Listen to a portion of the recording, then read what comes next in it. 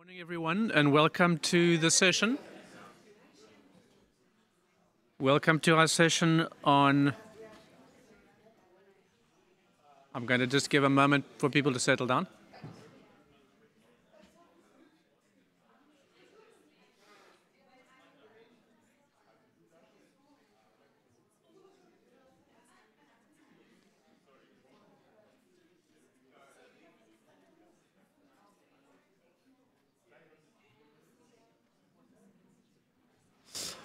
Okay, mor morning, everyone. My name is Mike Webster. Uh, this is supposed to come through on channel one. Uh, this is quite an innovative room. It's the first time I've experienced it. It's called a silent room. So the mic is actually not projecting to uh, the room. It's actually all going through the headset. So you all need to have uh, a headset and you key into channel one. If you don't have a headset, you need to get one upstairs all of the audio is going to be through here. We do have a lot of people online, and because it's a uh, it's just a curtain between us and the next room, we can't use a lot of sound, so it's all happening through here. Welcome to Paddies for the Planet. Sorry about the delay, um, but we're here now, and uh, we're going to have an exciting session. This is about tackling the water climate challenges through low carbon rice. This is an issue of great importance to many of us here. As mentioned, my name is Mike Webster. I work for the World Bank. I'm the program manager for the 2030 Water Resources Group, and, and I've got the pleasure of um, moderating this session. Uh, before taking much time, I want to introduce my boss, Saroj Kumar Jha, who is the senior the, the global director of uh, water at the World Bank Group.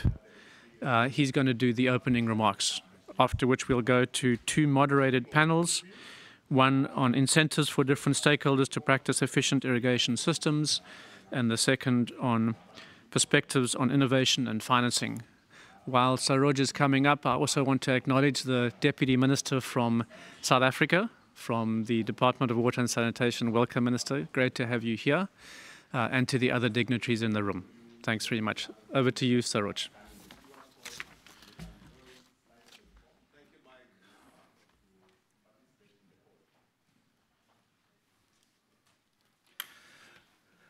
Good morning, good afternoon, good evening, everyone. Um, uh, first of all, I really want to thank all the organizers of this uh, very important session Paddy for Planets. Um,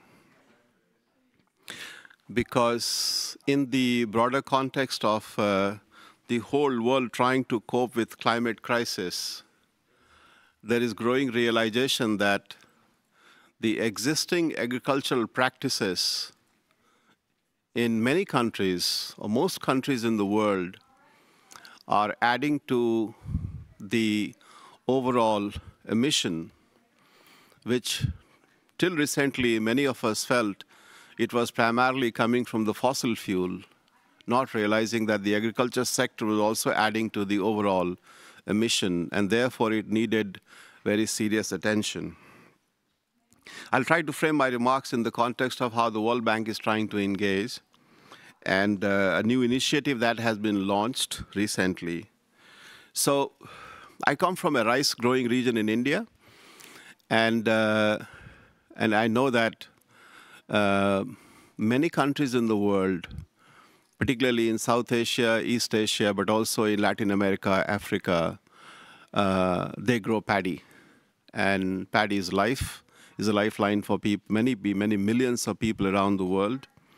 And therefore, uh, how we can essentially move towards decarbonizing paddy cultivation but more broadly to decarbonize agriculture sector is very much part of an effort in which the World Bank is engaged. And I know many of you who are involved in organizing this event, we're also working with you. In fact, one of the uh, reports that the World Bank will be launching in the coming months, it is uh, on decarbonizing agriculture. And this is going to look at not just paddy, but also going to look at many other uh, things which are happening in the agriculture sector which needs very serious attention. But coming back to paddy and in terms of how we are looking at it, um, first, just in terms of broad numbers, and many of you in this room know the numbers better than you know, I know, but so roughly the uh, paddy is grown in about 200 million hectares in the world. And there are 10 countries in the world which are kind of uh, responsible for almost 70% of uh, rice production. The reason I'm giving you this number is that if we really want to focus on growing paddy in a sustainable manner, we could try and have a very focused approach in those on those 10 countries, which is pretty much responsible for 130 million hectares out of total 200 million hectares where paddy is grown. And if you, we can work with those 10 governments, private sector, civil society, farmers' organizations, we can really make a huge impact. And this is exactly what the Paddy for Planet program for the World Bank it means. And you can list the countries. This is India, China, Philippines, Vietnam, Indonesia, Cambodia, Laos, Bangladesh, Pakistan. I think it's also Nigeria is number 10 or 11.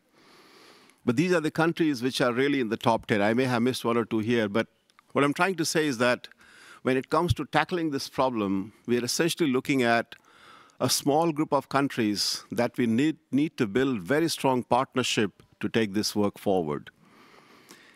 These 10 countries are also responsible for almost 90% of total methane produced in paddy cultivation in the world. Which means that if we are able to work with these 10 countries, uh, we can really significantly not on, not on my statement, unfortunately. unfortunately. a bit of humor is important because I went twice up and down on this. Look at my weight and 100 kilos going up and down twice. it's not easy. So those 10 countries, 90% methane reduction, which is about 10% of the total methane produced globally. So this is a very significant impact we can make by really trying to focus on this program. And as part of that, we want to work with the private sector in these countries.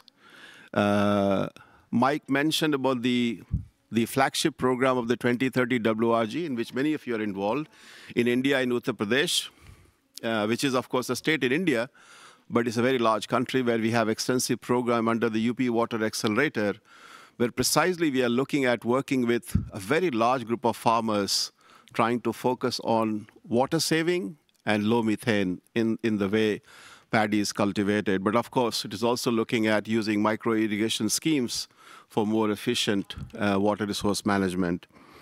But in addition, uh, we have uh, recently approved large programs in China, Vietnam, Indonesia, Philippines, some under preparation, some already approved by our board of directors, which primarily support the governments to establish large programs for decarbonizing paddy cultivation. And this is moving away from continuous flooding to mid-season drying or to alternate wetting and drying AWD as it is, called, as it is called, in many of the countries. In some other countries, DSR, which is direct seeded rice, is also being tried. So we are looking at various means of uh, encouraging decarbonizing paddy sector. And our program of support to the governments will look at not just improving irrigation and drainage services, but also creating incentives for farmers to adopt new practices, helping governments to develop MRV, measurement, reporting, and verification system so that we know how the emissions are being reduced in these countries. Massive investment in the research and development in this sector will also be part of our support. And of course, we want to do this in a collaborative manner with the private sector. So thank you very much uh, for the session, and uh, I look forward to the discussion. This is a very important part of the World Bank's uh, water program, and you will hear more about our program of support. If there's any government listening to my statement now and would like to seek help in establishing a program for decarbonizing their agriculture sector, please get in touch with the World Bank's country director in your country. And trust me, we will be more than happy to really work with you and mobilize the technical organizations and the private sector to really support uh, this agenda. Thank you very much.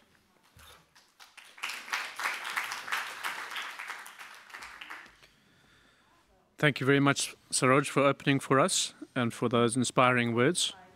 You heard the remark at the end.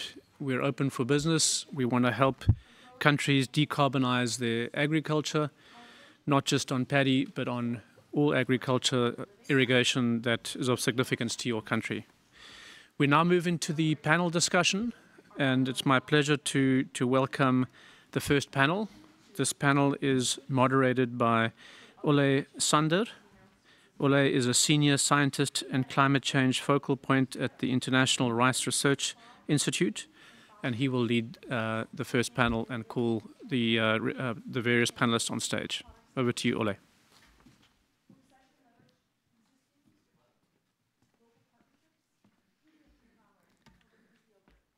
Thank you very much, Mike, for the kind introduction and uh, for the invitation as a moderator of this first panel interview welcome everyone to this discussion. Um, let me introduce the three panelists for this first discussion.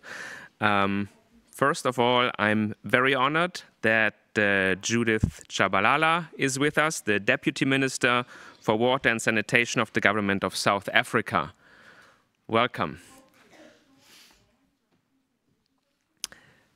The second panel member is uh, Adrian Sym, the CEO of the Alliance for Water Stewardship and also board member of the Sustainable Rice Platform. Welcome, thanks for joining. And our third panel member is Jessica Christensen, the Vice President of Sustainability and Business Stewardship for Bayer Crop Science. Thank you for joining us today. Um, could you just change positions? Sure. That would be fantastic. Thank you so much. um, let me. So I would I would like to have this this panel as interactive as possible. So I will give an opportunity to people here in the room, but also people online to ask questions. But I would like to start first uh, with uh, a few introductory questions to the panel members myself. And it's actually a, a pleasure to be in this moderating role today. Usually, I'm the one who has to ask all the questions, so I'm very happy that I can pose some questions today. Um, Ms. Tshabalala, Your Excellency, um, can you, you're working in the Ministry uh, for Water in South Africa, can you describe um, what the ministry is doing in terms of balancing the demands of the different sectors um, and maybe with a particular focus on agriculture. What are your challenges that you're facing? All right. Uh, thank you so much. Do you hear me? Is it is it open? What's the situation? I you, think you it's do. open. Oh, maybe it's because of the other side. But thank you so much, and uh, good, obviously, morning to everybody here.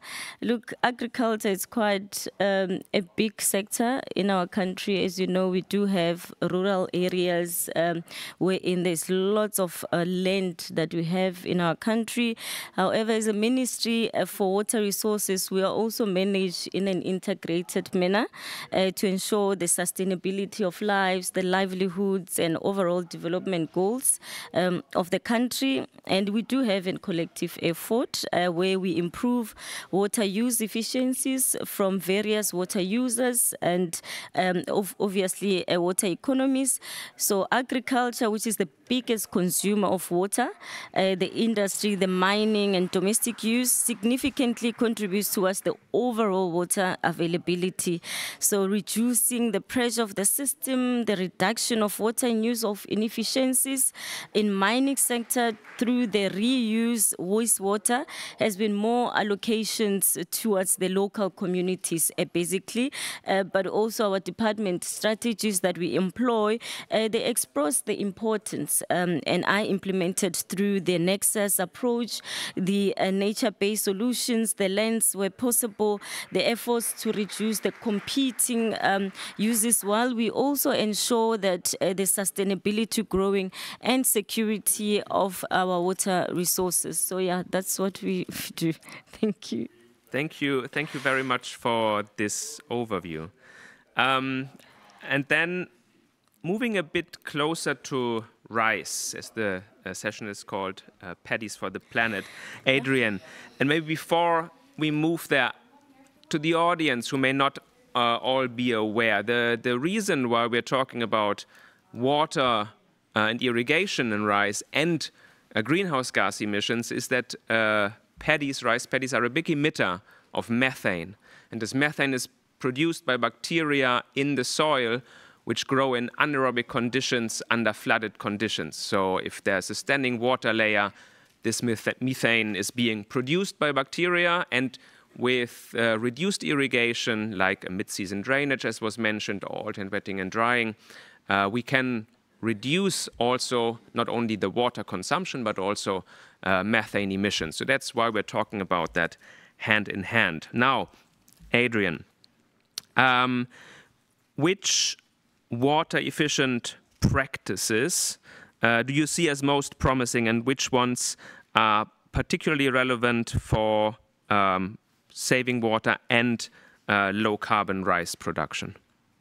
Uh, so, first of all, thank you very much for the opportunity to to be here with with a, a two hats on. Uh, I'm a, a, board member of the Sustainable Rice Platform, uh, and I'm also chief executive of a, a water-focused organisation, the Alliance for Water Stewardship.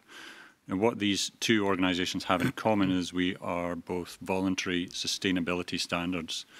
So the remarks I, am going to give are not from the perspective of a rice expert, uh, but from somebody who is um, deeply involved in, in, sustainability standards and also deeply convinced of the value that, that sustainability standards can bring in connecting the different stakeholders, in particular the private sector, with uh, communities and with public sector priorities. Um, and it's uh, the ability of standards to, to um, enable us to take a holistic and systemic perspective uh, which is, I think, the, the point I would like to emphasize rather than any particular uh, technology for, for efficient, driving efficiency in, in rice production. In particular, standards like, like the Sustainable Rice Platform um, has eight, uh, the SRP standard has eight themes of which water use is one. Uh, but any standard needs to be um, applied in a given context, and for any intervention on efficiency to be effective, it also needs to be to, to speak to that that context. Um, so rather than prescribing specific technologies, standards help us to understand all the other factors that are relevant for any intervention to be effective and would view water use efficiency not as an end in itself, uh, but as a means to achieve more sustainable and durably sustainable uh, rice production.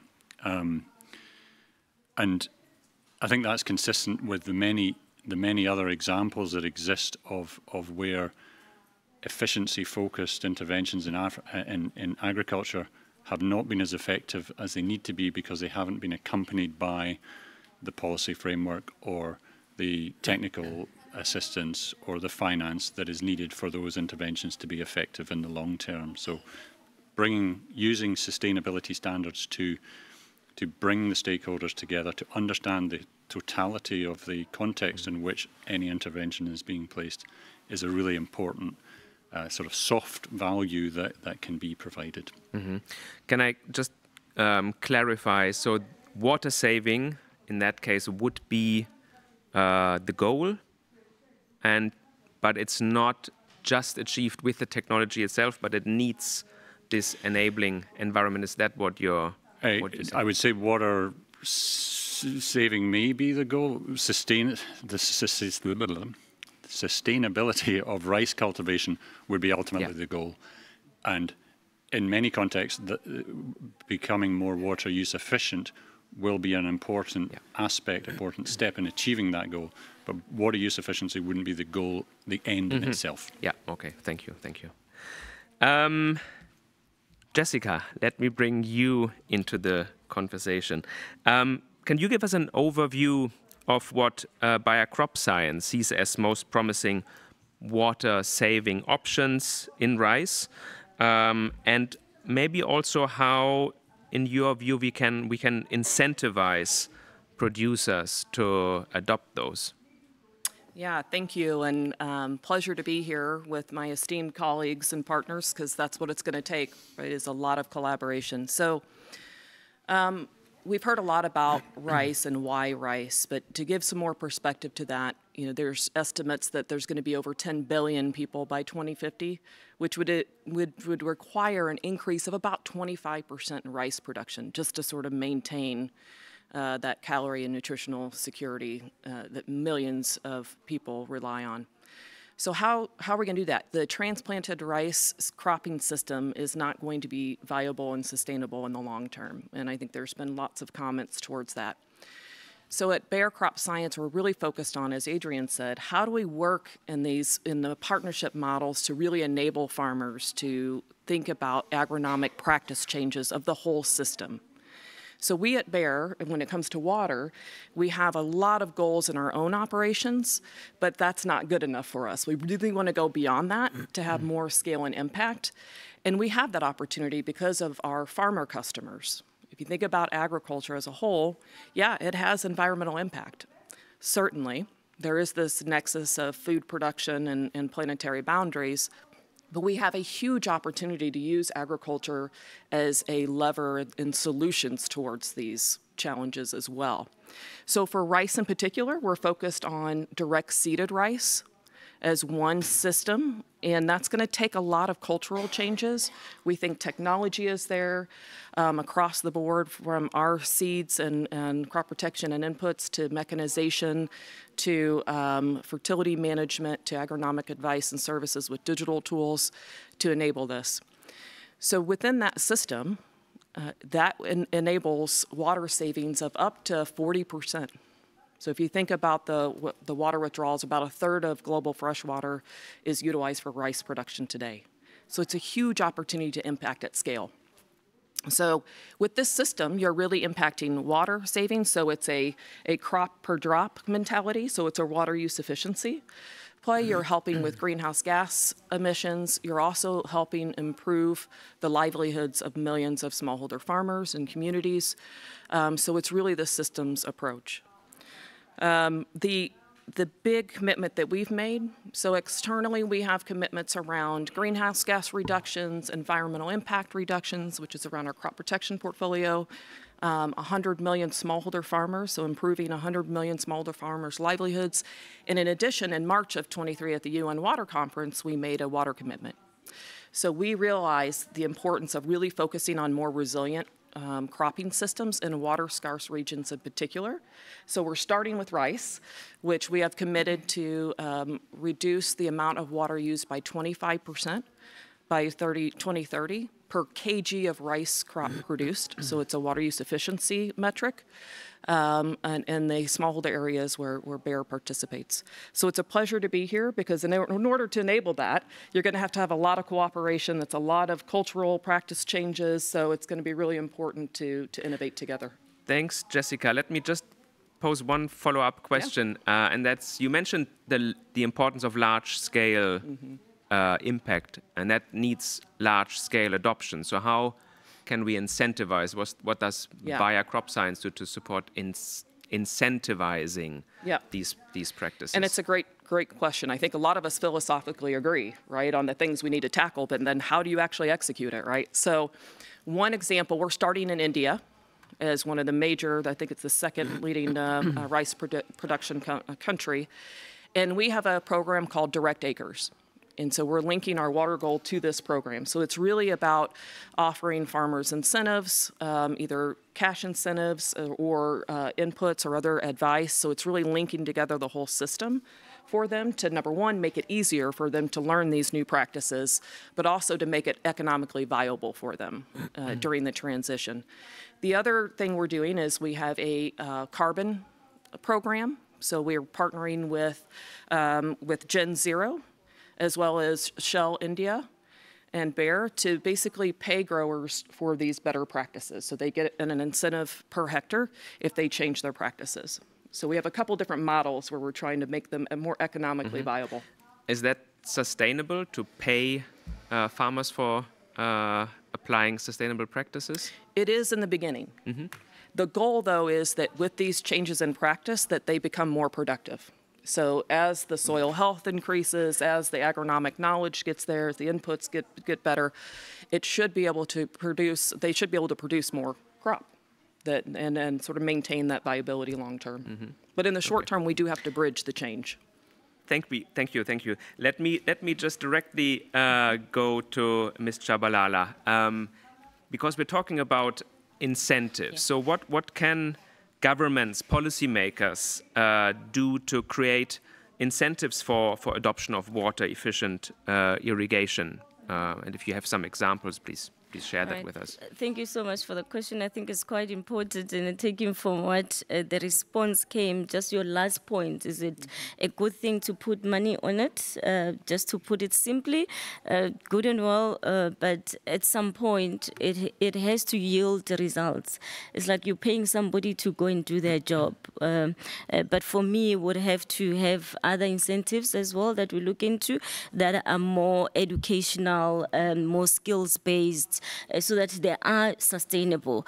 Uh, but uh, from our government, and I think po- as policymakers, we can make towards the wider adoption of water efficient irrigation practices that are through restructuring, because we need to restructure the relevant policies. Um, obviously, since you asked that question, that is really geared towards the driving the promotion of water saving practices. Because at the end of the day, it's about how we then save water, but we also uh, maximize in terms of what is the output that we want to gain out of it. But while we're putting in place the necessary financing instruments, because you do need the financing instruments, and I think that such as subsidy, the funding models should be there um, as part of financing, because we can speak all these things. If there isn't, there is always lack of financing becomes an impediment.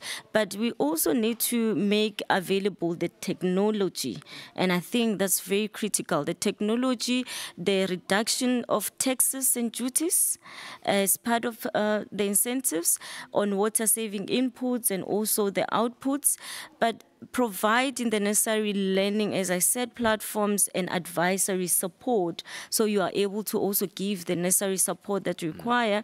But furthermore, scaling this throughout the value chain in terms of creating those incentives for investments and adoption, and including the supporting the water user associations. I think that we need to also support the water user associations so that they can also be that partner that we need. That's, that's also your applause. Yeah. Let me, Yeah. let, let me emphasize one point that you mentioned that I think is very important. That's really investing in the people, Yeah. uh, investing in, in skills, investing in capacity. So I think that's, that's a very important point that we often forget when we just talk about uh, technology dissemination. Um, let me maybe ask the audience if there are any questions now. Uh, and also, I see a hand up there and also online if someone monitors that. So we see, I see a hand up over there. Can we get a mic there? Yes, coming.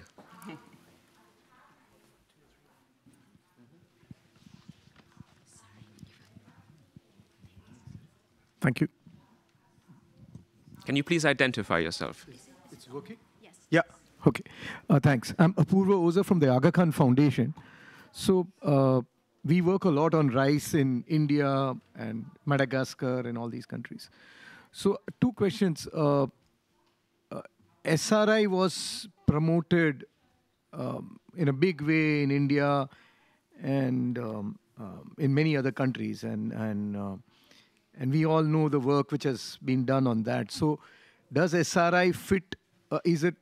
I know there are differences with uh, direct rice seeding, but from an extension point of view, we found SRI farmers are much more willing to take up SRI than they are willing to take up DSR, uh, so to say. That is one issue. and I wanted your views on that.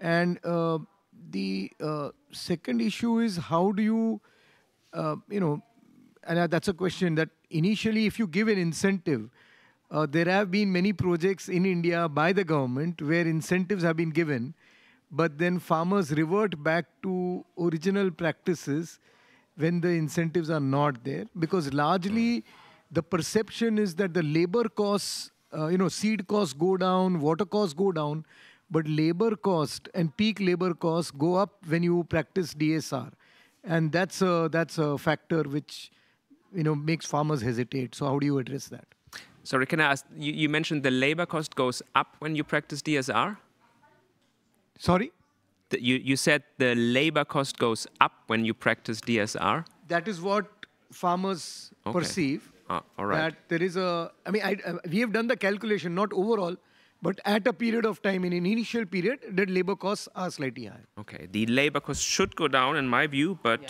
if that's the perception, um, I think that's a question to, to Jessica and Adrian, maybe. Yeah, Adrian, do you want to start with this? uh, goodness, I'm, I'm considerably out of my depth. I'd like to emphasise the the fact I'm not a rice expert, so I wouldn't necessarily have anything to, to say specifically to these to these uh, technologies or, or, methods for cultivating rice. I guess more broadly on the incentives piece and the the durability of, of, of any incentive scheme. Um, I've been encouraged just by this conversation by the fact we have input providers from Bayer, we have the government uh, perspective, um, educational perspective. One perspective that perhaps is not there is a, is, is a market perspective, yeah. um, which can be very powerful. Um, and so the, the providing incentives for traders mm -hmm. to demand sustainably cultivated rice is, mm. is, is, another key part of, of the mm. equation.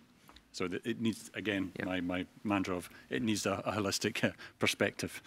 Yeah. Thanks, Adrian. Yeah, Jessica may yeah, have. Uh, I, can, I can touch on a couple yes, of that because great, great questions and comments, by the way. So um, there are multiple. So we talked about alternate wetting drying. That's part of our car carbon program too. So it's not just about direct seeded rice because we agree we need to have flexibility depending on the local and, and the, that particular smallholder producer even. So we are promoting different practices around alternate wetting drying and then all the way to a DSR system. Within the DSR system, um, to your point on the, the cost piece, uh, what we're working on would say that it's actually going to be lower. So this is, uh, to Ola's point, we, it, it needs to be, right, to make this actually live and be, be taken up and, and adopted by farmers. So we're working with, you know, what does mechanization mean in smallholders? Stop trying to make it like a, a Western uh, uh, mechanization. We're not talking, so I think the mechanization pieces are much different now. So working with those uh, providers, the input providers, the off-takers, to, to Adrian's point, is another important component of this. But when we're doing the math, because we're absolutely doing the same thing, is what's the return on investment to a grower, and working with several growers and our pilots to get direct feedback from them about what's mm. working and not. The economics in our model show that direct seeded rice actually is, is more cost effective than transplanted, predominantly because of the labor situation, as you mentioned, not having enough people to work on the nurseries and then the timing of very delicate timing of when you have to then actually go in from nursery to the fields and the paddies to, to transplant, right? So because of that, and I think the pandemic, the COVID pandemic exacerbated the labor cost. So timing wise, it works. But your point is very valid because there's perception. DSR is not new, as you guys know that have worked in rice. So what's changed to enable that? The education, the capacity building, the knowledge transfer, we're working on all those components because it's not just about us launching new innovation and, and saying, okay, it's great, here you go, um, so we are working on what's that whole agronomic system and the training. That's the, where the incentives come yeah. in, is yeah. really around the training components. And then I think we have to make it viable because I agree um, that we can't continue to, to um, supplement forever, right? So we need to make it more viable if we actually want to get to scale. But really good points. No, I think that's that's a that's an important point, or two two important points. Um, one is is definitely uh, the mechanization aspect, and that may also yeah. trigger that question with with uh, mechanization investment into agricultural development in that as in that case. uh, the labor uh, costs uh, would also go down, and then it's also uh, a, a lower risk of switching back to practices that are more labor intensive. We need to ensure, though, that those mechanized practices are really Right. Uh, more sustainable than the traditional practices, and that's uh, that's of course a, uh, has different different different aspects to it. Um, I, I heard that we have online questions. Maybe we can take one or two now, Alida. Yes. Uh, can everyone hear me? Yes. Yeah. So there is a question for um, the Deputy Minister uh, from Meghna Raupalajani, who's saying, Thank you for sharing your strategy on water management. Does your country align the efficiency goals in water with your climate ambitions as well? And what is your advice on this for maybe other nations looking for leadership in blending water and climate goals? Do you get the question? I, I think I got it. I'll try my best. Uh, thank you so much for the questions uh, from online. Of course, our country does uh, share, uh, s- I mean, we do have the Res- Water Research Commission, and we're working a lot around issues of climate change to ensure that we aligned our policies around that. Um, and you, you, the, on that question, for me, it says that what is it that we're also doing to ensure that this water use and we use it sparingly? And we do have what we call the Water Act, and this is what I can share with other countries in terms of legislative reform. Uh, we have the Water Act of 36, 1998. Uh, for me, it is a good example uh, of a legal framework that really provides for the effective and sustainable management of our country's water resources. And the Act really uh, requires that the country water resources be used efficiently and equitably uh, in a sustainable manner for the benefit of the all. So it should not only be for a certain few, it should be in a position where it's for the entire, for everybody and all the sectors where the water is quite needed. Furthermore, as South Africa as well, we have developed and implemented the water administrative system, uh, uh, which is an integrated management tool for irrigation schemes uh, that deliver water on demand through the canal networks, the pipelines, the rivers, water administration systems. Um, we also, I mean, it goes to a point where we cover over 190,000 um, at, at this point hectares, um, and also resulted in about 55 million cubic meters uh, were in per area of water savings. So that is a typical example of exactly what we're doing to cover that. But I hope that I've answered the question. If I didn't, they can always come back. Thank you very much. Yes, a second question, Alida. The second question from Maeve Hall.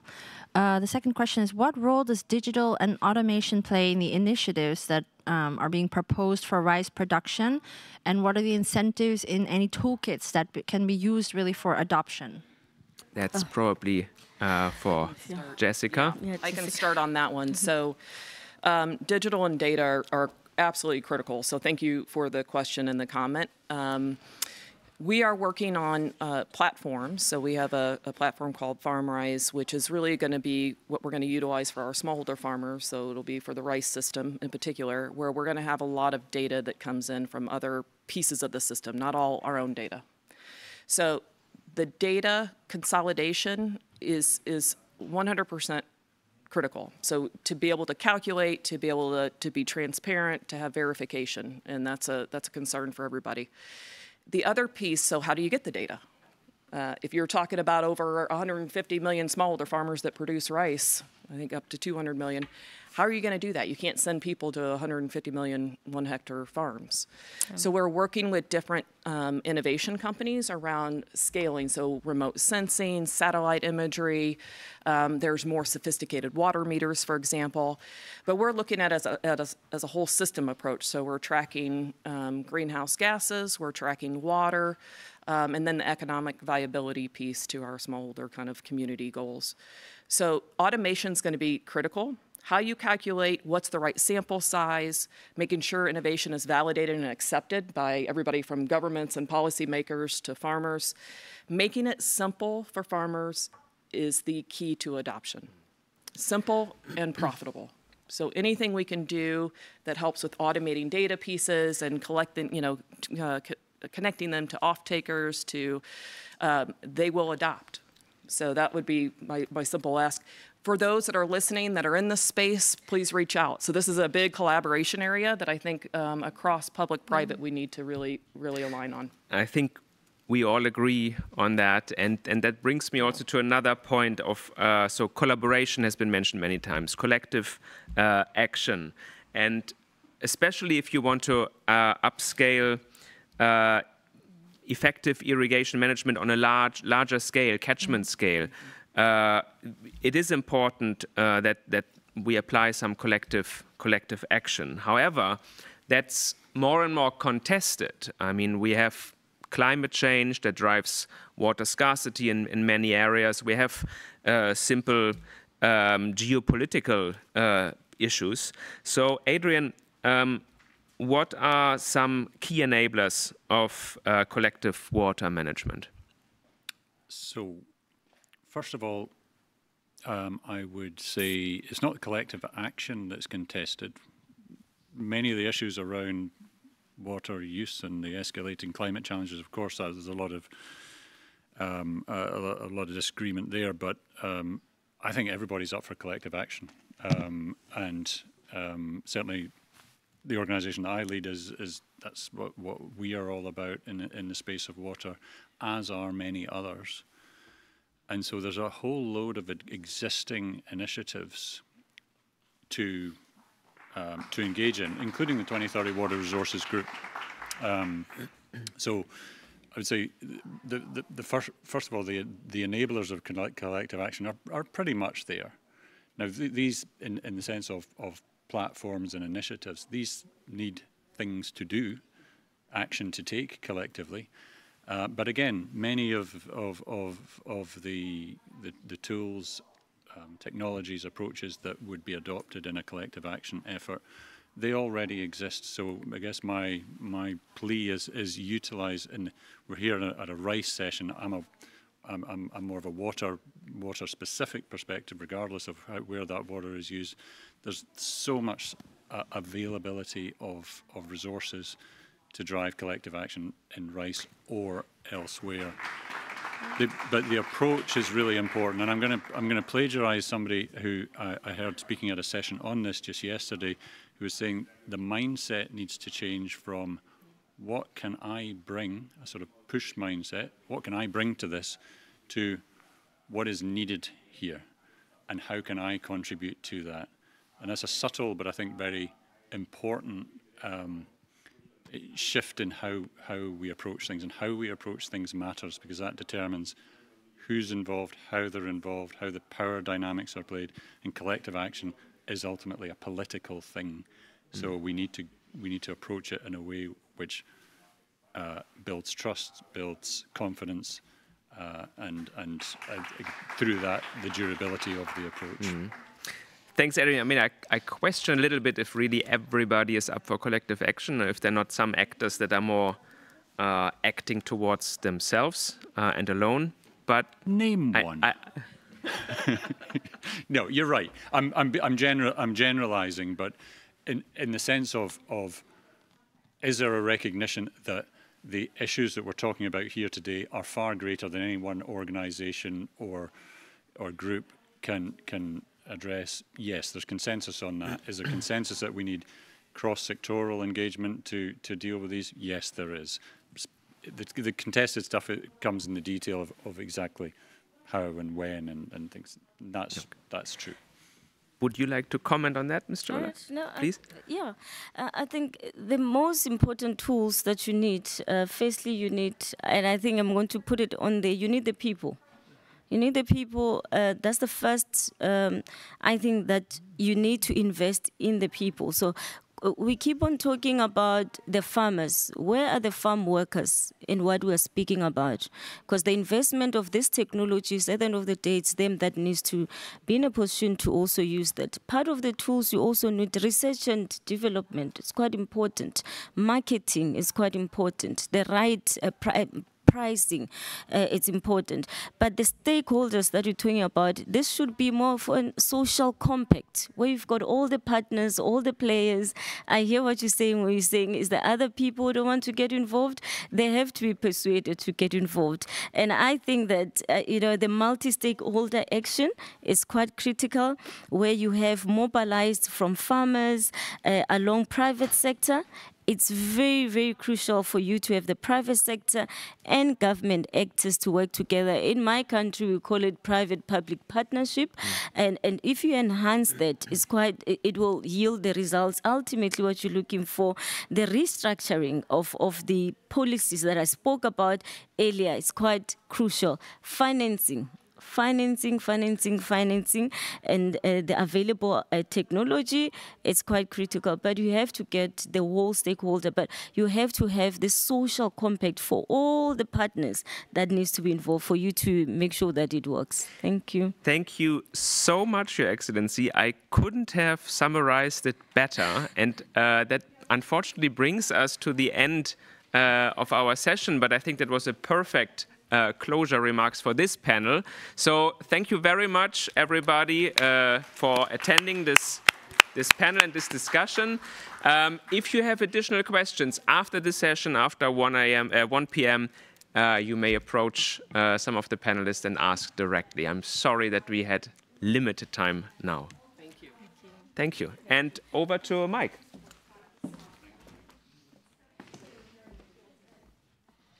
Thank you very much, uh, Ole, and and thanks again to the uh, Honourable Minister for, for gracing us with your presence and for that uh, stimulating panel discussion. Lots to think about, lots to chew on. We have the second panel. Uh, for the second half, uh, we will end by one, so this is another 45 minutes. This is on perspectives on innovations and financing. And this panel will be moder moderated by Carolina Garcia, and Carolina is the Global Sustainability and Innovation Director at uh, AB InBev. Over to you, Carolina.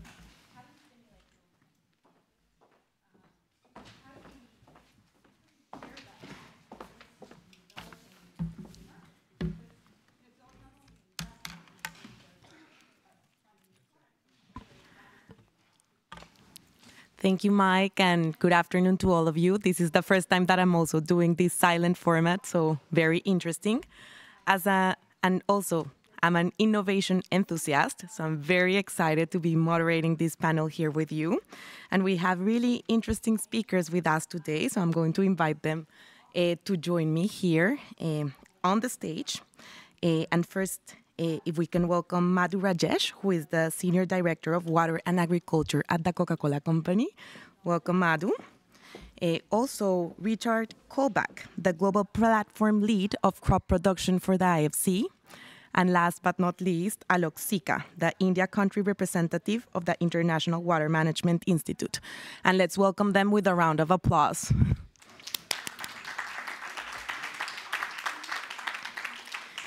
Excellent. Okay, Richard, you can either take this mic or share that mic with Alok. We're in that collective action sharing space, so however you prefer. Wonderful. So now that we're all set, um, I wanted to quickly start with you, Madhu. And I know that in the previous panel, um, our other colleagues talked about this in depth, but perhaps you can set up the talk um, mentioning why it's so important to talk about water irriga irrigation in the context of agricultural production, and perhaps refer both to the environmental and social benefits. Thank you so much, Caroline, and thank you for having me here today. I know the core uh, topic of the panel is around paddy, and that's not um, an ingredient that we work with, but I'm here to talk about um, the topic in a more general context across a range of agricultural settings and commodities. So for the Coca-Cola company, our main ingredient is water, And we, uh, we realized that uh, the vast majority of our water footprint actually comes from the crops, the ingredients that we use in our products, whether that's sugarcane or mangoes or um, other commodities. And so water has been core to our work for well over a decade now.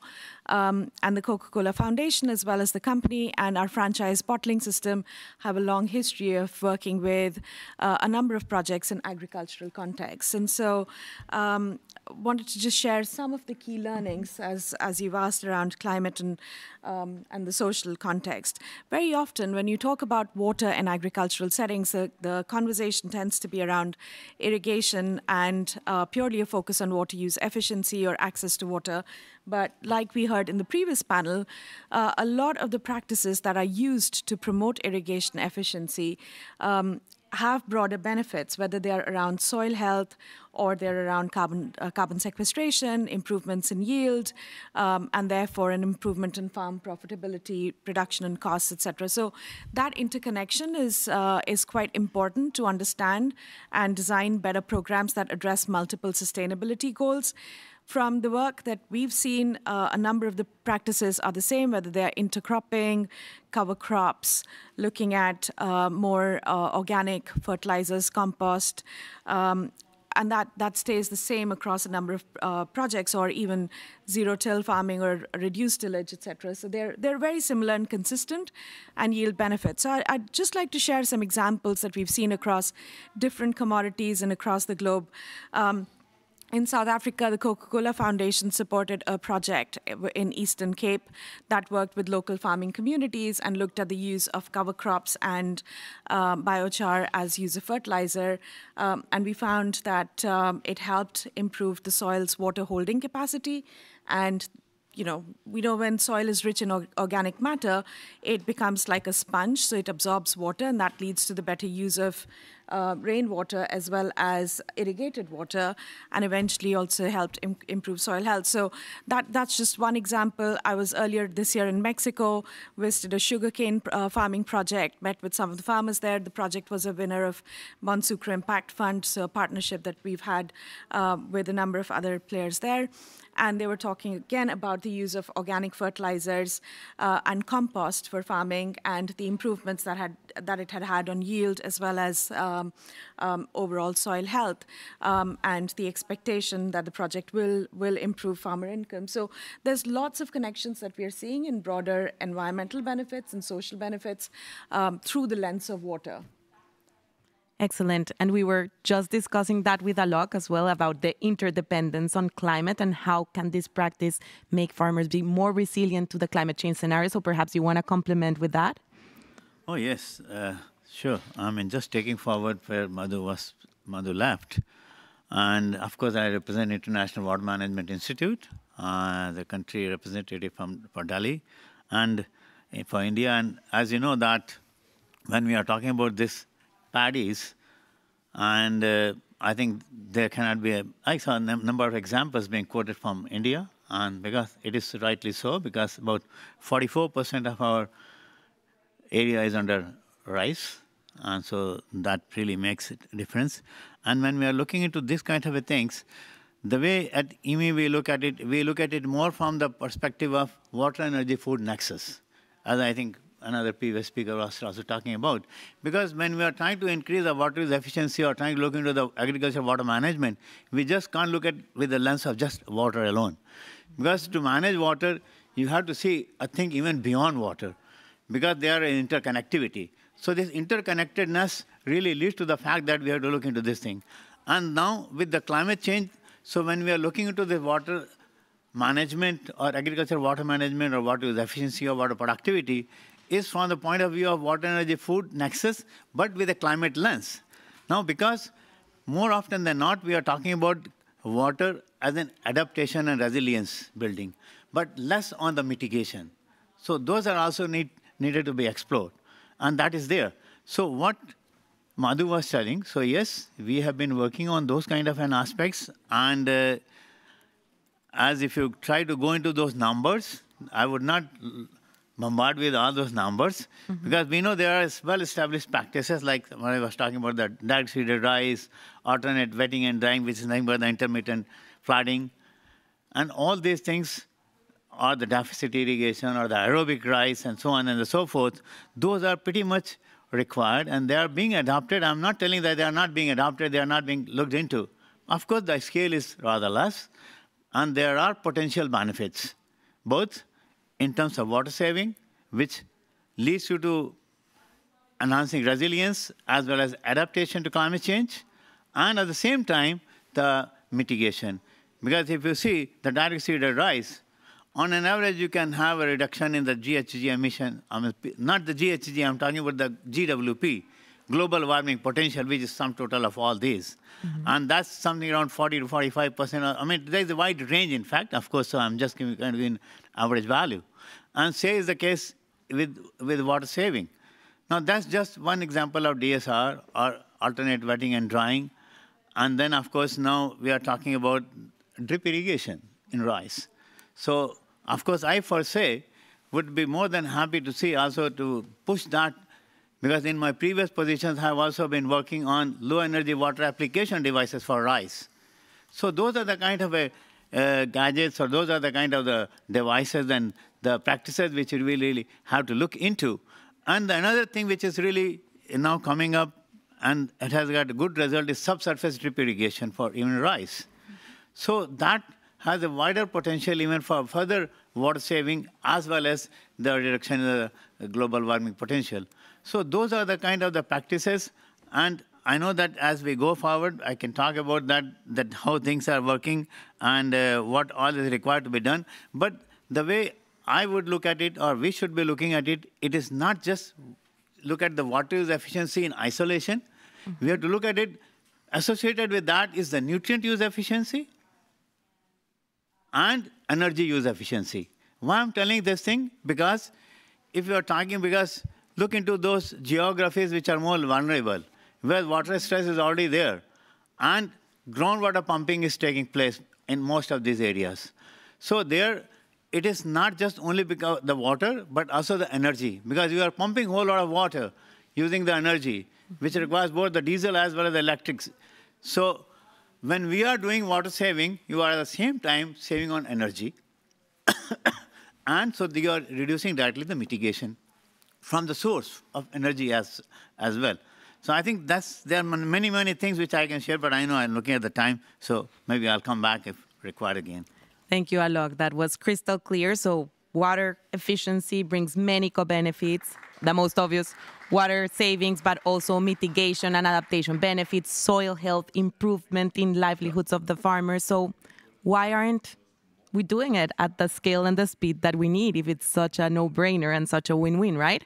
And that's where you come in, Richard, with the finance and the innovations on this space to help incentivize that at the speed that we need.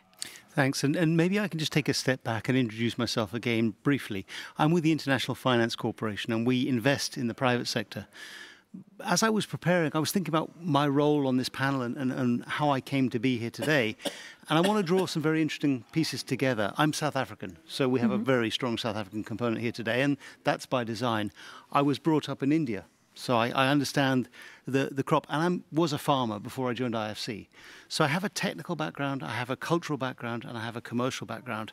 I'd like to bring a little bit of all of that in today. Go for it. Um, you know, when I think about farming, Uh, and particularly rice, it's about 8,000, 13,000 years old it's not just a commercial piece.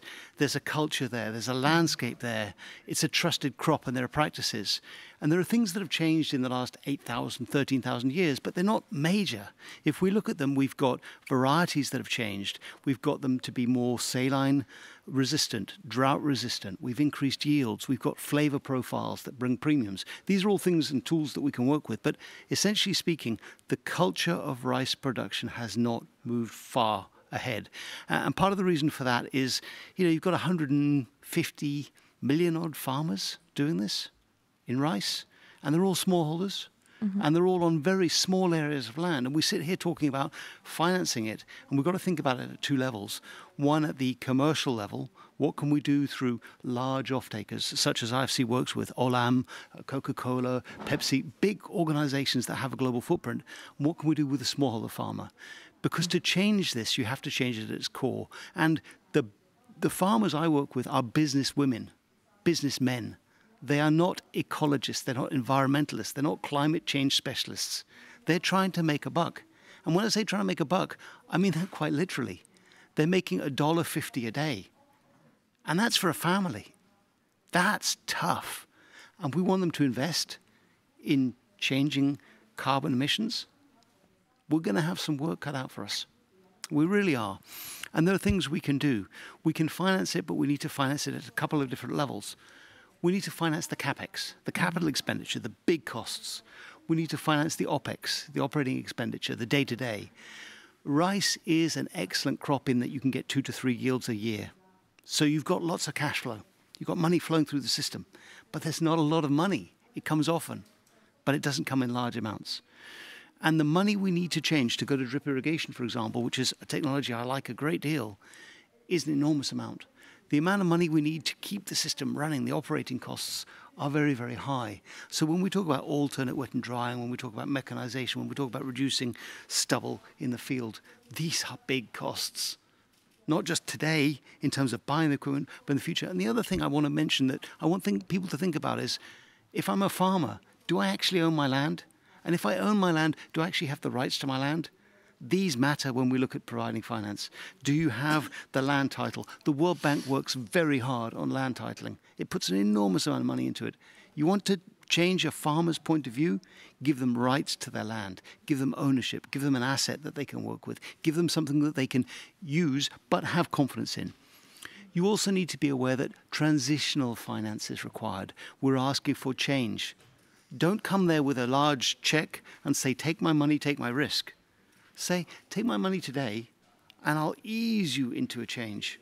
I'm going to give you transitional insurance. I'm going to take some of that risk off the table until you're making the money and you have confidence.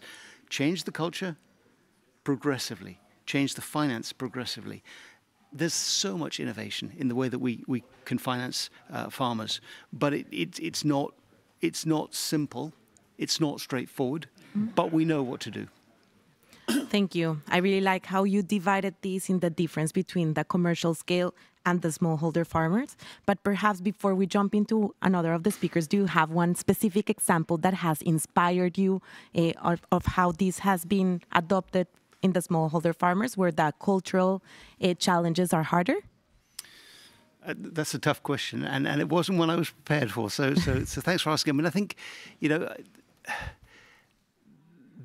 it, it's tough. I'll need to think about that a little bit. I'm, I, I wasn't prepared. I think there are many examples I have of being inspired by farmers, um, and many of them come from India. Interestingly enough, because I've spent so much of my my, my time in the field there, um, and and seeing farmers adopt change.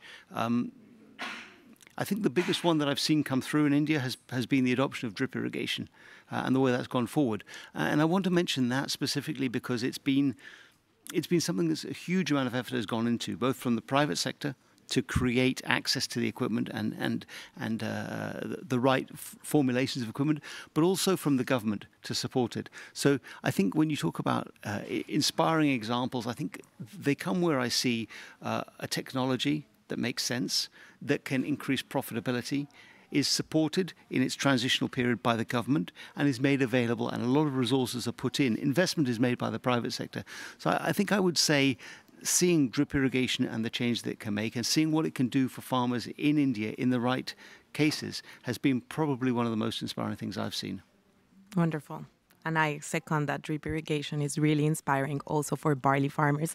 And talking about other crops, Madhu, since we have you here and perhaps you can jump in.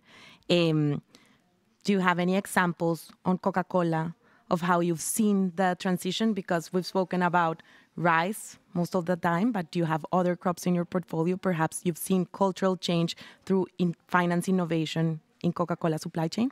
Yeah, I can actually um, talk about two examples. One from India, which is uh, a project that Coca-Cola Foundation and uh, other partners supported, um, which was working with um, sugarcane farmers. It's a uh, it's a fruit circular economy project that uh, that we have, and it worked with smallholder sugarcane farmers in India and has been so successful that it's been re replicated across other commodities as well.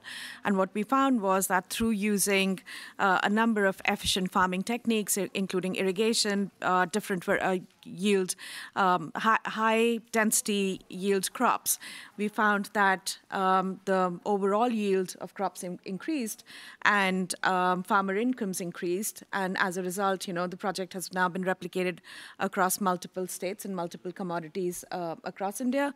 So that's one. And a recent example also from um, the Coca-Cola Foundation and our bottling partners in Turkey um, in an apple, apple growing region where um, it worked, the project worked with smallholder farmers um, and looked at drip irrigation as well as the use of some digital technologies to look at um, soil moisture and climate moisture conditions to develop personalized irrigation plans that helped improve irrigation efficiency. And uh, it's a new project. We're just getting results from the ground. And from everything we're hearing is that there have been yield improvements. So change takes time. There's a lot of innovation. There's a lot of technology, um, room for digitization, but the understanding of the local context is very different you know, in, in the US, I was in a corn farm recently that was using drone technologies. And then you go to the developing world. I come from sugarcane, a family of sugarcane farmers in India where the context is very different, just like uh, Richard was mentioning. Um, it's about contextualizing to that particular economy and working with that group of farmers to understand the challenges they face and designing uh, solutions that address their needs and take them on the journey. Can I just come back with one thought? I, I, I took course. a bit of time to reflect on your question about inspiration, and, and one of the things I want to add in here is inspiration you get from farmers who realize a crop they've grown actually has value, a lot more value. Uh, and so I want to give two examples from Africa this time.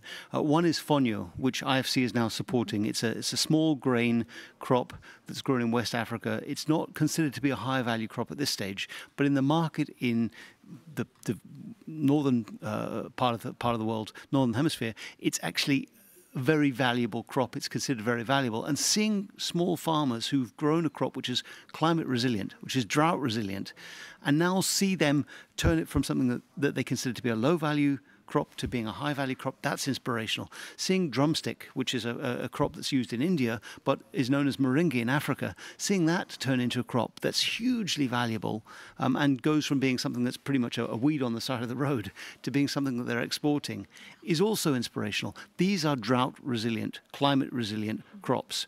And so when I think about rice, I also think about what's the alternative? What else could we be growing as we give farmers options that can give them alternative crops to grow. Maybe our way out of some of this uh, carbon emissions is to say, what else can you grow? What else makes sense for you? What else will make you a successful businesswoman? What else will make you a successful businessman? That may be a way out. Don't hammer against a nail that, that's never going to, you know, sol- solve your problem. Try and find alternatives. Thank you, Richard, for those two examples and for that provocation. I think it's very relevant for the context that we're facing. And going back to context and geographies, uh, of course, culture is something that we cannot uh, have it overarching. Every context is specific, but also policies are context specific. So, Alok, why don't you talk about the enabling environment that we need to create from a policy perspective to make these changes? Yeah, that's uh, really very much required because, uh, I mean, if we really want to scale out, we need to have a very conducive policies because the technologies are there, but for scaling out, the policies are pretty much the instrument. And uh, of course, there are a number of policies which uh, I can quote from India. And uh, uh, very latest, on, in terms of water use efficiency, mm -hmm. the government of India has recently uh, established what we call Bureau of Water Use Efficiency. And uh, right now, the task force is looking into the roadmap and the pathways, how the Bureau of Water Efficiency works. It's not just only in the agriculture irrigation sector, but all the water-related sectors. And I happen to be the chairman of that task force appointed by Government of India. So that's uh, one major push now the Government of India is giving, trying to give into that direction. And then there are a number of other policy instruments which we have. Uh, one of the oldest policy instruments which we had in Punjab, Soil Water Act, where we are trying to delay the rice transplanting by few days, like up to 10th and 15th of June in Haryana and Punjab. Because the idea is that you save on the high losses of evapotranspiration and you reduce the uh, uh, wastage of groundwater. And so there has been evidence that how it has been really working. Now, very latest instruments, policy instruments which are there, both in the Haryana as well as in the Punjab, that's the western part of the country where, you know, a lot of groundwater exploitation and rice is going on. And one is on uh, incentivizing, as I said, incentivization is a must because without incentivizing you just the way now right now the things are there incentivization with certain items has to be there now there the haryana government has come up with a policy instrument where they incentivize the farmer for diversifying to any other crop from away from rice or even in rice by adopting the direct seeded rice so if you adopt the direct seeded rice you get incentivized to do that. So that's one of the policy instruments. That's both in Punjab and Haryana. The another policy instrument where we from IWMI have been also working with the bank uh, is on direct benefit transfer for electricity. In Punjab, locally they call Pani Bachao Paisa Kamao, means you save water and earn money. Where we looked into those because in Punjab there's free electricity given. So we looked into that and you kind of fix a reference point looking into the past average value of the consumption of the energy. And then you say that, well, if you, any number of amount units you reduce less than that, use less than that you are consuming, we get incentivize you by directly transferring into your bank account the money equivalent to that. But if you go above that, of course, you are not being penalized because otherwise, you know, it becomes difficult at least to begin with. So those are the kind of the few other policy instruments immediately that comes to my mind that I can talk about that. And there are many, many other such uh, places where the policy instruments are taking place. And yes, as I mentioned to you, because any kind of a policy instrument you have, because that's true for any, most of the natural resource and particularly the water. Because if I'm a farmer and I'm trying to be very conservatively using groundwater, but the next door farmer is sucking all the water, what's incentive to me? So that is why there has to be incentivization in one way or the other. How it has to be there, that uh, thing can be seen, which could be situation or the context specific. So I think I'll leave it here. So on this point of uh, uh, policy instruments, of course, the other thing which from the mostly going from the finance point of view is that we should be looking into more into the public-private partnership mode even in the irrigation sector. That is what I have been at least telling for quite some time. I know it's easier said than done, but perhaps there is a, a need that we really need to look into. And how do we do into that? We have to look into various business models. There are various kinds of business, and that is where the private sector role is very, very important to see, because now, like there are in India, there are farmer producer organization, FPOs. Mm-hmm.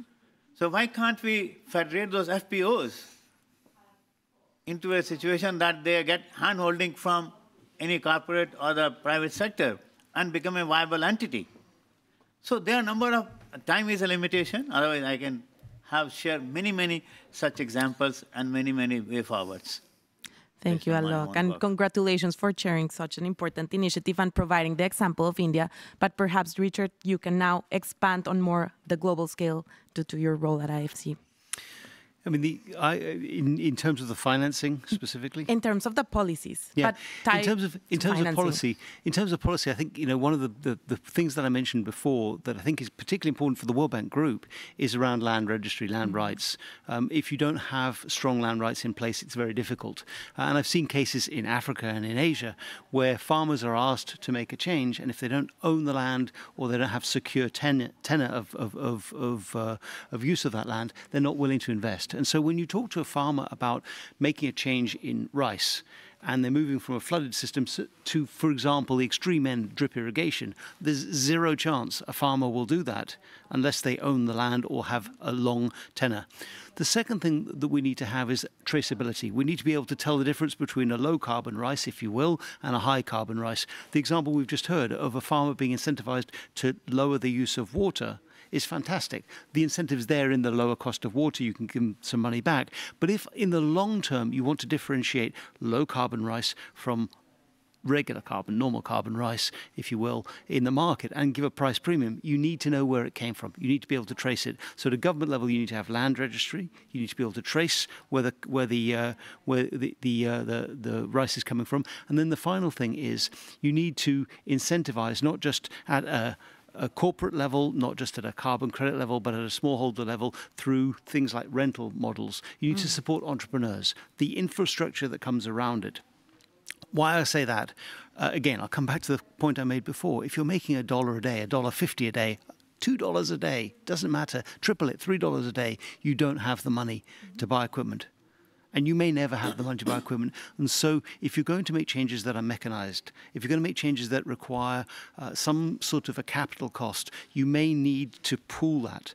Either you pool that through a cooperative, a farmer producer organization, which can be supported with subsidies to get equipment, or you do it through rental and service models. So the government can come in and support either individuals, they can support farmer organizations so they can support and really promote entrepreneurship. And I think that entrepreneurship also has the added advantage that you don't find many 65 year olds and 55 year olds going out there and becoming entrepreneurs.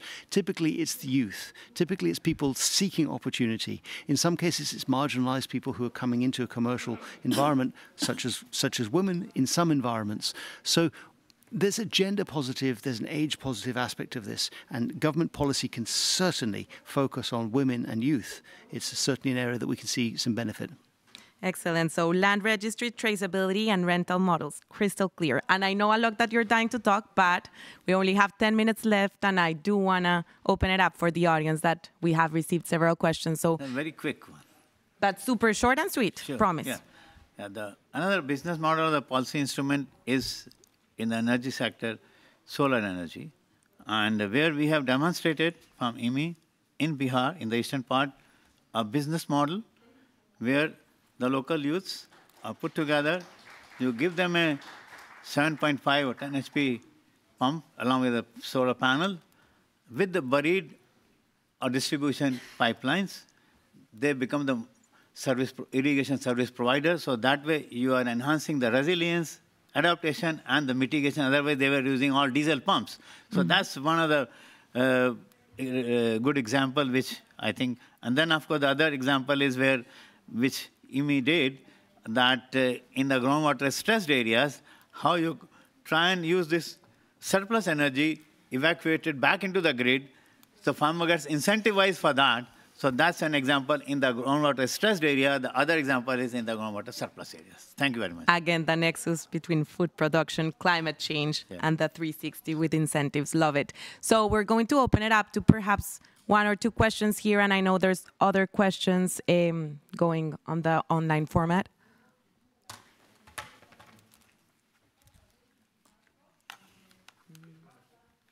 Perfect.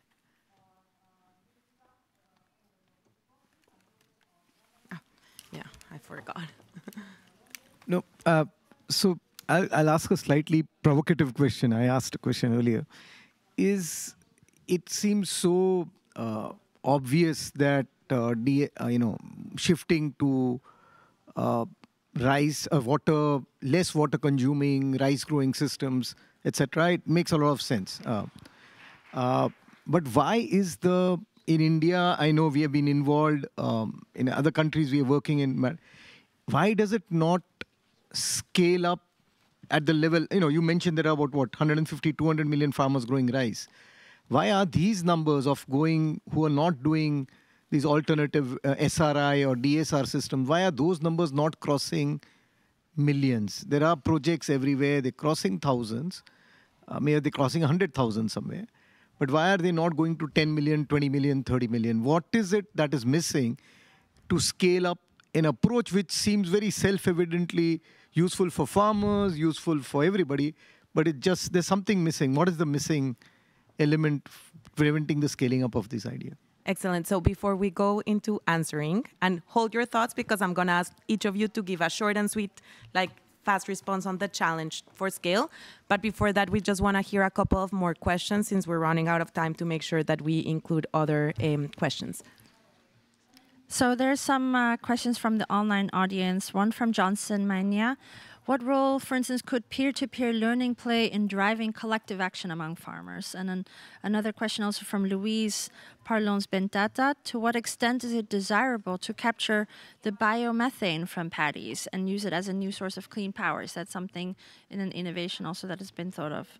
And um, just a few also um, shout outs to Mansi Tripathi, who says there alternatives for paddies could be millets. Like the FAO and UN has recognized International Year of Millets to be in 2023. And Letitia Osborne also mentioned that WW from WWF that South Africa also works with smallholder farmers there um, on livestock farming to implement water stewardship best practices. Um, and there's a lot of um, um agreement there on OPEX also should be finally supported to allow farmers uh, to get more profit from implementing pricey methods such as drip irrigation, specifically in commodities such as vegetable, fruit, and wine. Well, thank you so much for all those great questions. I feel that we need like another hour of panel to, to answer all of them. But perhaps to start with, do you want each of you give your short and sweet answer of what is the main challenge that we're facing to reach out the scale that everyone is looking for? So, Madhu, if you want to start. Yeah, and I will say um, this is why this is such an important topic that the World Bank has um, and WRG have chosen to address today. I think the role of collective action platforms and really um, showcasing best practice, bringing a number of peers together so they can learn from each other, and uh, designing programs that can be scaled up to achieve the large scale impact that we are looking for is so critical. And so I hope to see more of that from WRG and other collective action platforms going forward. So why not scaling? I mean, I think part of the reason is that there isn't yet a, significant business case. Uh, I was talking to somebody in, in India who was working on this, and they said they'd gone out to market and tested a low carbon rice versus a high carbon rice, and there was no price premium. No one wanted to pay more for a rice that looks the same in the packet, tastes the same when it comes out. Uh, and so th- there really isn't an established brand, an established demand that will pay more. And again, farmers are businessmen and women they're not going to do something without getting a return. They're not going to increase their risk. So the business case isn't strong enough yet. Um, and I think that that's, that's particularly important. In, in India, where you're subsidizing water, you're subsidizing power, you can play around with the subsidies. But at the end of the day, net net, you have to come out with more money for a farmer to do this. Um, 150 million farmers producing rice, they're all small. Unless you get it right for them, you're not going to change things. Peer to peer learning. Farmers learn from farmers. Fact.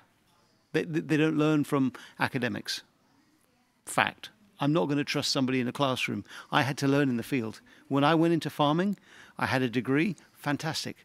Did I learn in those first few months? Oh, yes. Did I learn from other farmers? Absolutely. Did I learn from lecturers? No. Was a lot of what I'd learned useful? Yes, but it didn't actually help me to be a farmer. I had to actually go out there and get my boots muddy. So peer to peer learning, essential. Biomethane, yes. There's also you know mushrooms you can grow on rice straw. There's also you know baling rice straw and using it as part of a, a feed. There are many options out there, but they're not they're not done for 150 million farmers. So maybe some of them could become useful. Some of them could work out. I mean, the problem we have with rice that we've been talking about is methane. So can you take that elsewhere? Yes, but you've got to pick up the rice straw in large volumes. You've got to transport it and you've got to convert it. Infrastructure isn't there yet. Thank you, Richard. And thank you also for answering all other of the questions that were online. So I do appreciate that. And now, Alok, if you want to continue as well. Yeah. So, I mean, I'll start with the optimistic note. Yes, I mean, scaling, yeah, it's not to the scale where we would like it to be, but the beginning is already there. So let's look glass half empty or the full. So as I said, so let's be more optimistic. Yes, it's a slow process. It is going on but the pace has to be increased. In order to do that, there are a number of ways that we had, one has to look into. It's not that it's not happening, but perhaps the pace has to be built up. More of creating awareness among the farmers and others, the capacity building, which is there, but I think it requires to be much more paced up, and the extension services. Because we know that the extension services, where they are. So my own perception is, I've been also uh, in my previous position as a Deputy Director General Natural Resource Manager, I was also for some time Deputy Director General Agriculture Extension with ICAR. That the extension services, the way it should be there, we should try and bring more private sector into that. because it can't be just managed by the government. So that's what my personal thinking is. So that's something, of course, various NGOs and the CSR companies, they're already doing there, the foundations.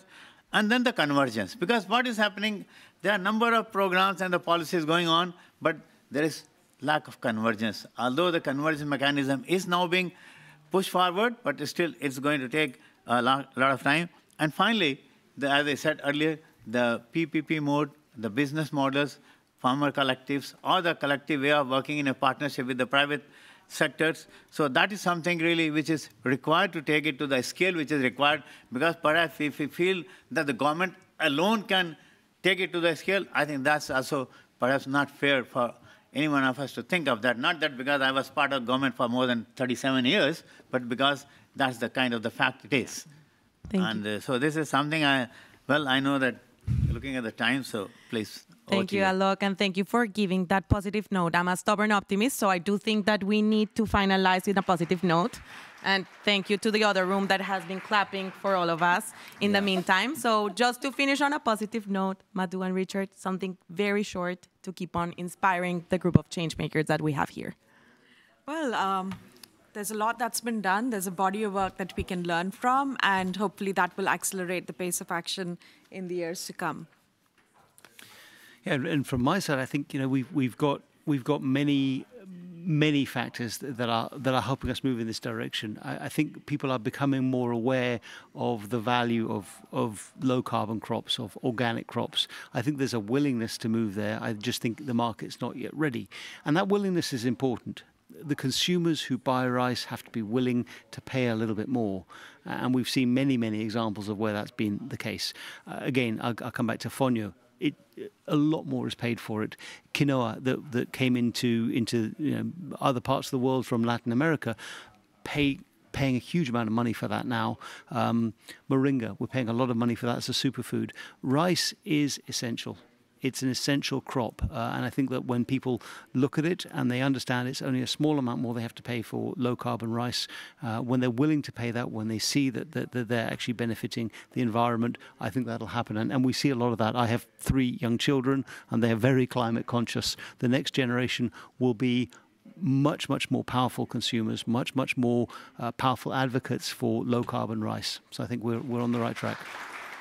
Thank you so much. And thank you for the enriching conversation. I'm going to turn it over to Mike to close us. Um, and thank you so much for the co conveners for having us. Thank you. Thank you. We thank the moderator. Thank you. Thanks very much to everyone. We just got a few minutes left. I'm going to just say a few words uh, in closing. Um, but probably the most important thing to do is to thank. Uh, the two moderators, to thank the panelists, uh, particularly thanks to uh, the Deputy Minister from South Africa for gracing us with your, your presence, and, and thanks for the very rich discussion.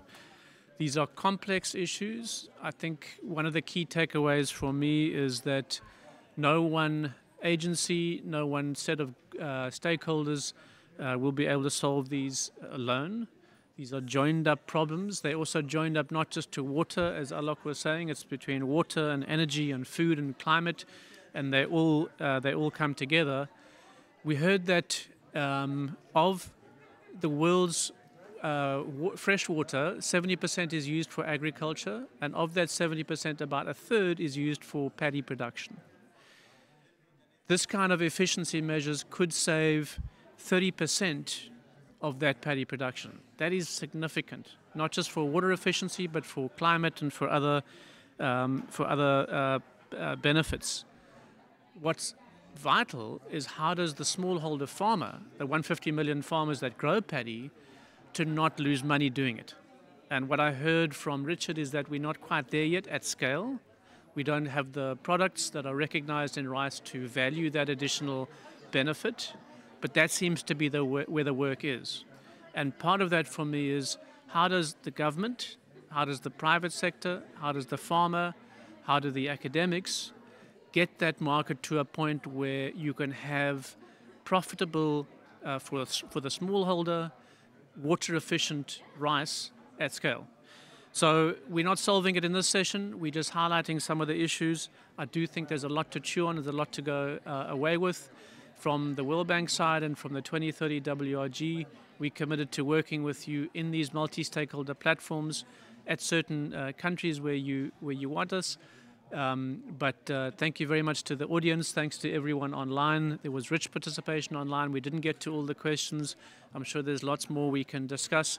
But for now, we'll close it there. Thank you and enjoy the rest of the day.